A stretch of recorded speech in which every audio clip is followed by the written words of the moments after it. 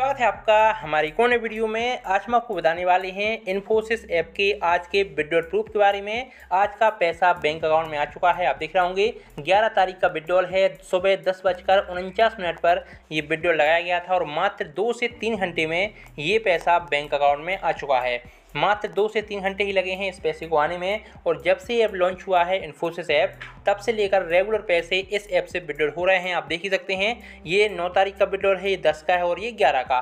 तो मुश्किल से चार से पाँच दिन ही इस ऐप को हुए हैं लॉन्च हुए, और जब से ये लॉन्च हुआ है, तभी से लेकर रेगुलर पैसे इस ऐप से विड्रॉल हो रहे हैं। कोई दिक्कत नहीं आ रही है, बिल्कुल नया ऐप है, और इसके तीन से चार महीने चलने के आराम से अनुमान लगाया जा रहा है कि तीन से चार महीने ये ऐप आसानी से चलेगा, क्योंकि ऐसे ऐप चलते हैं और जो लोग सबसे पहले इस ऐप में कुछ कर लेते हैं, वो ही आगे बढ़ जाते हैं, उनको प्रॉफिट हो जाता है और जो लोग लास्ट में आते हैं, उनको घाटा होता है सब ऐप में ऐसा होता है। अभी जी एस के ऐप भी चल रहा था, जिसने शुरू से इस ऐप में इन्वेस्टमेंट किया था, शुरू से इसमें कुछ लगाया था, उनको बहुत ज़्यादा फ़ायदा हुआ है और जो लोग लास्ट में आए थे, उनको घाटा हुआ है। तो ये ऐप अभी नया आया है इन्फोसिस चार से पाँच दिन हुए हैं।